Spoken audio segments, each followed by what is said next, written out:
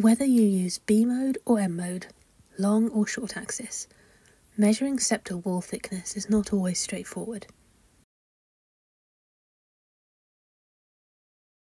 This cat was referred for follow-up echo after he had been found to have increased septal wall thickness.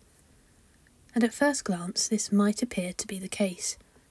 However, if I slow down this clip, you might be able to notice a subtle change in echogenicity and in some frames a discontinuity. Here you can actually see the blood pool.